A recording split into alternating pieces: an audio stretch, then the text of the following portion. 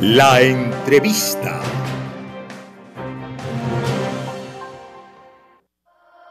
¿Quieres vivir del trading? Únete al Club Premium de Criptomanía y crea tu plan de inversión con la mentoría y el asesoramiento personalizado de los traders profesionales de Criptomanía. El momento es ahora. No esperes más para empezar a ganar. Criptomanía, tu club especializado en educación e inversión. Muy bien, muy bien. No pierdas la oportunidad de ser tu propio jefe y vivir como tú quieras. El que a buen árbol se arrima, buena sombra le cobija. La mejor asesoría en los negocios digitales la vas a encontrar solo en Criptomanía. Por eso están con nosotros.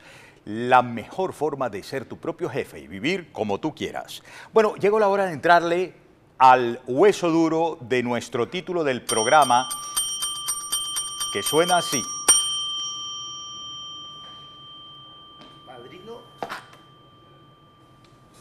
Trino está asustado.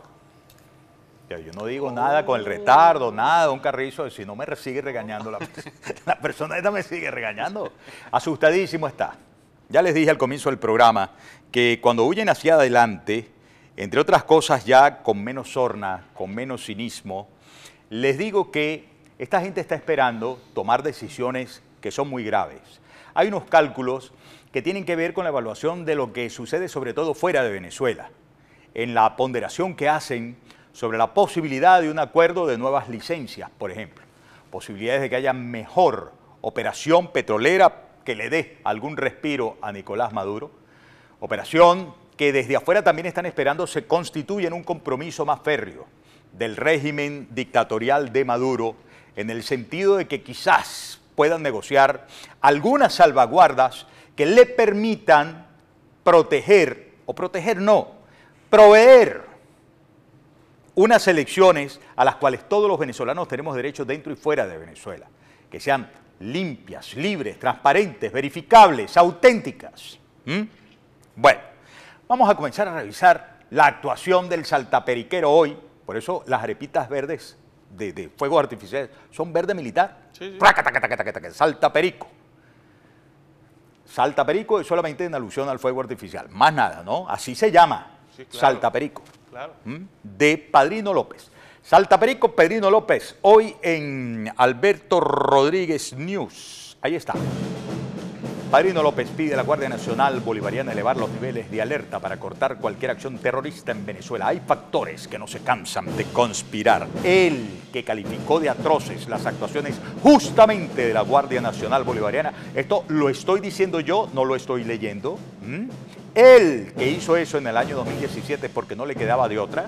Él, que no tuvo la hombría de vencer a las narcoguerrillas que estaban operando desde por allá, por aquellos años, causando muertes óigame ustedes, en el sur del país y casi que les dirigió una carta muy atenta diciéndoles, tengan ustedes el favor de retirarse del lugar en vez de como corresponde, siendo el ministro de la Defensa y teniendo la responsabilidad del resguardo de la soberanía y del resguardo del territorio y la integridad de la República, haberlo sacado como corresponde, con el uso de las armas. Él, que fue incapaz de contener el derramamiento de sangre justamente por la gran represión que grupos de la Fuerza Armada y grupos policiales y grupos parapoliciales perpetraron contra las disidencias políticas en el país. Vuelvo a leer lo que le dijo a la Guardia Nacional. El ministro de Defensa Vladimir Padrino López cuestionó la actitud de algunos precandidatos presidenciales que a su juicio respetan a los efectivos de la Guardia Nacional Bolivariana. Y dijo él que todos tienen que estar alerta. Vamos a ver el tuit de Impacto Venezuela. Impacto Venezuela, nuestros aliados informativos de Impacto Venezuela. Publican en su eh, cuenta de tweets Twitter, perdón, el vicepresidente sectorial de la Soberanía Política, Seguridad y Paz, Vladimir Padrino López, indicó que Nicolás Maduro dio la orden de reforzar los niveles de inteligencia ante las conspiraciones y el intento de perturbar la tranquilidad del pueblo.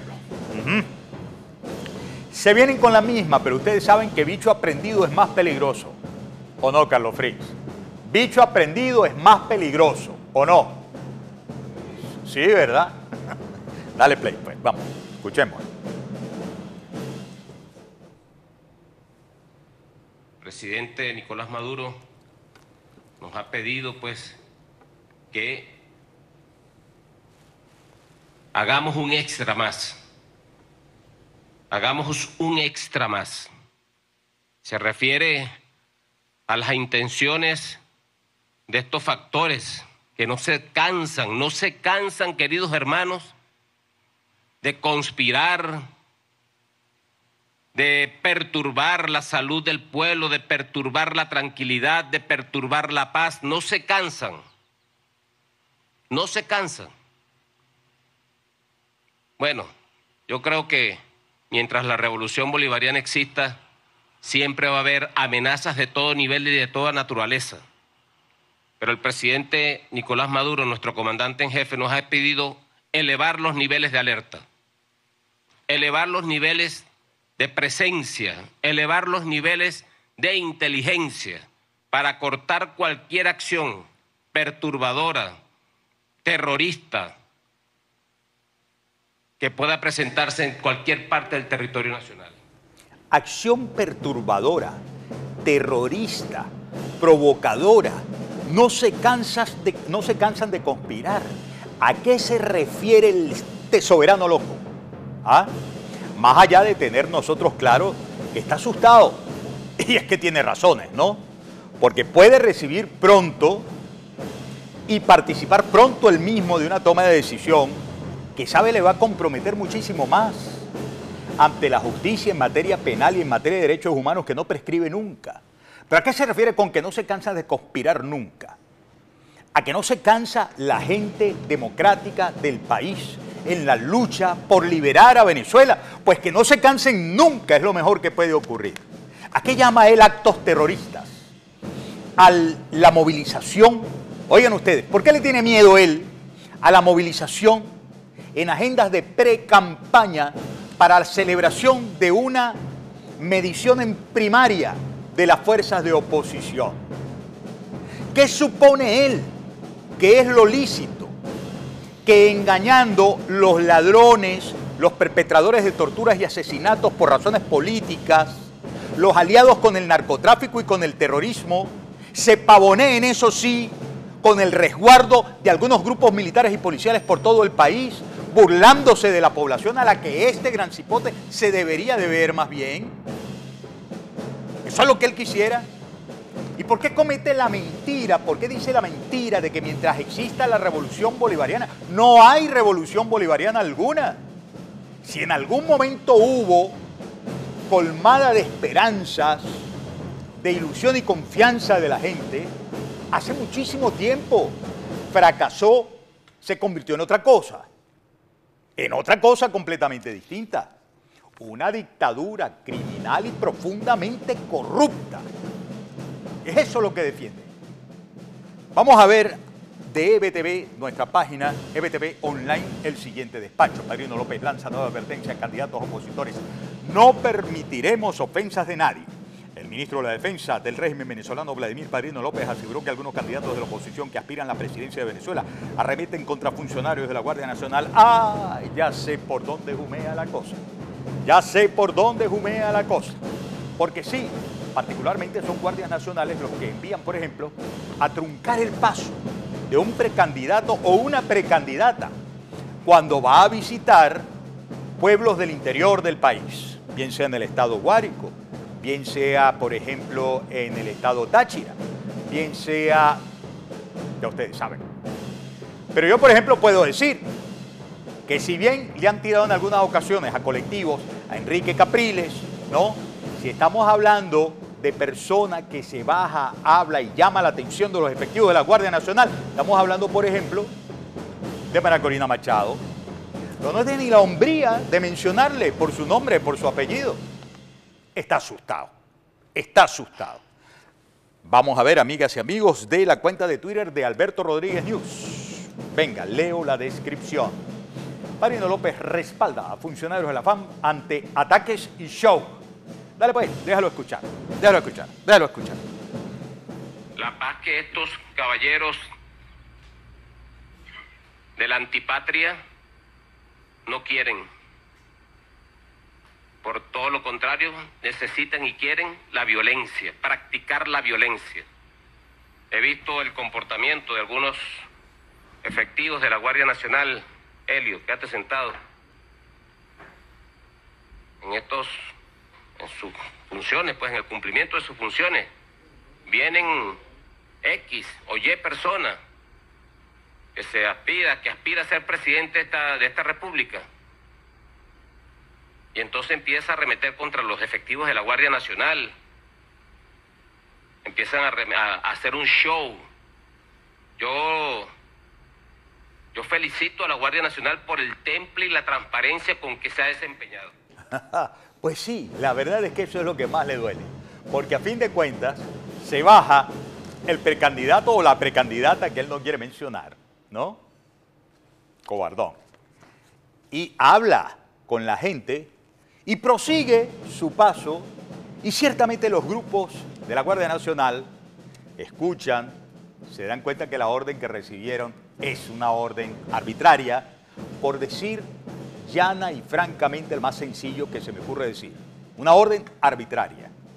Y han dejado pasar, pero seguramente este tipo se ha dado cuenta que algunos funcionarios militares y algunos funcionarios policiales no solamente ceden el paso al precandidato o la precandidata, sino que además terminan finalmente colaborando en la logística de movilización.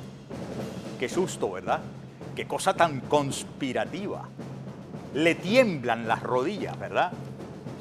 Bueno, este señor debería recordar, padrino, que la gente no olvida y que cuando se le ve así genuflexo, tan rastreramente,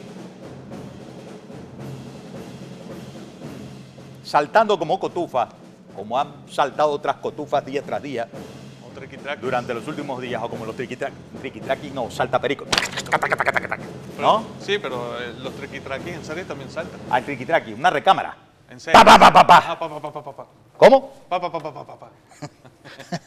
Ok, ¿cómo? Otra vez, por favor. Pa, pa, pa, pa. Eh, así, así. Así, así, así. Así han estado, como una recámara de triquitraquis. Este.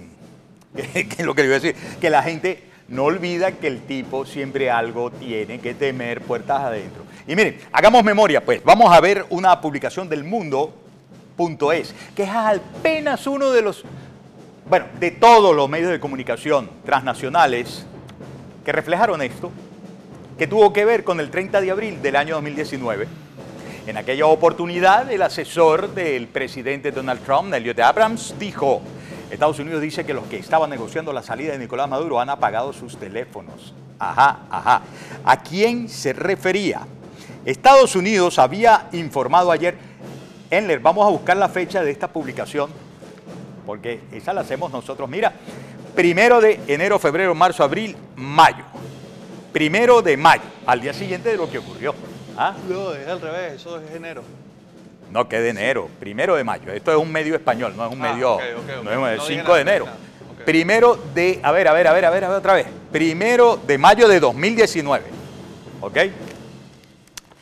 El enviado de Estados Unidos para Venezuela, Elliot Abrams, aseguró que los altos cargos del gobierno del presidente venezolano Nicolás Maduro, que supuestamente estaban negociando con la oposición la salida del mandatario, apagaron los celulares.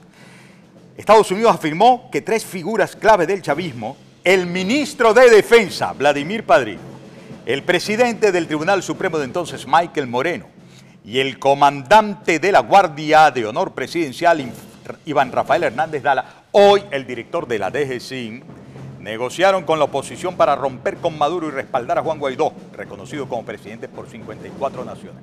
Nunca se me olvida las fotografías posteriores a esta fecha en las que Nicolás Maduro lo miraba así a, a- a Padrino, pero mira, así como, como, ¿ah? que realmente lo quería punzar con la mirada.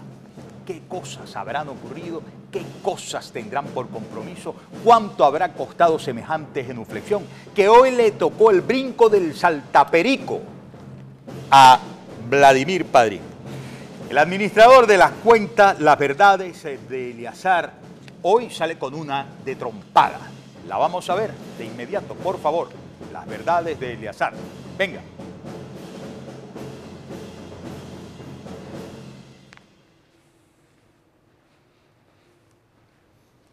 Ay, Padrino López. Todavía crees que puedes mantener tu cuota de privilegios y tu inmunidad. Pero recuerda que así estaba Ugbel Roa. Puedes dar la fotografía ya, mi querido Enel. Por favor, discúlpame, no quiero presionarte. Hace un año. Y mira dónde está ahora. En la revolución no hay imprescindibles. Todos son de- desechables. Y tú no eres la excepción. Sin presionarte mucho, ¿podrías eh, cerrar un poquito en la foto? Mu- Muchas gracias, eres muy amable. Este, te voy a mandar un café y también unas paledonias para todos allá arriba. Ya van a ver cuando termine. ¡Ey! cuando termine el programa arreglamos cuentas. bueno, ayer estuvimos conversando, amigas y amigos, en el programa especial de la Junta Directiva de BTV con Freddy Superlano. Freddy Superlano, como saben, es el precandidato de voluntad popular para las primarias del 22 de octubre. Estos cobardones, en una estación de la Guardia Nacional, en la frontera entre Táchira y Colombia, le robaron el pasaporte a Freddy Superlano. ¿Por qué? Porque obviamente todos los precandidatos mucho tienen que decir, mucho tienen que testificar, mucho tienen que fortificar la lucha por la libertad que se libra entre venezolanos o por venezolanos de bien dentro y fuera de Venezuela. Superlano estuvo consultado por nosotros, por Jessica Vallenilla Lacatuar y este servidor, sobre Padrino López, justamente. La cuenta de reporte ya nos da lo siguiente. Freddy Superlano afirmó que de llegar a la presidencia de la República no ratificará a Vladimir Padrino López como ministro de la Defensa. Óiganme, porque hubo uno que dijo que sí.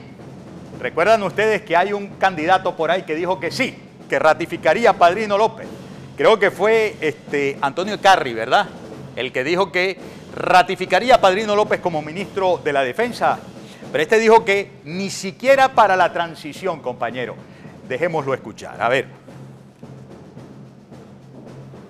Está hoy en día señalado por delitos eh, de violación de derechos humanos y por otra serie de cuestiones ilícitas más que tendrá. Yo te hablaría como comandante en jefe, él no sería mi ministro de la defensa.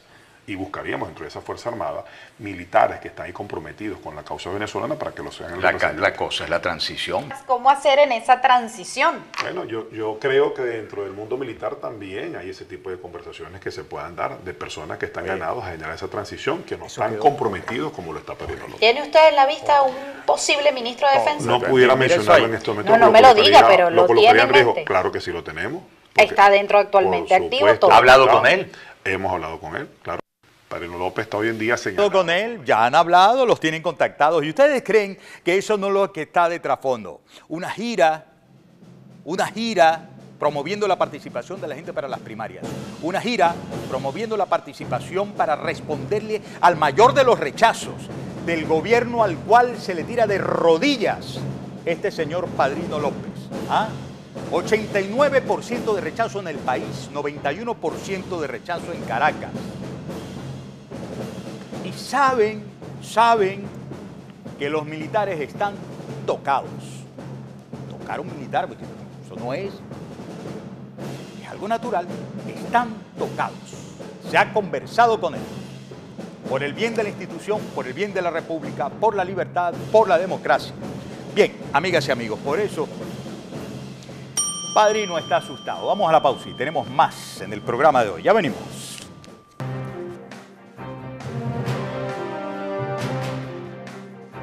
La entrevista.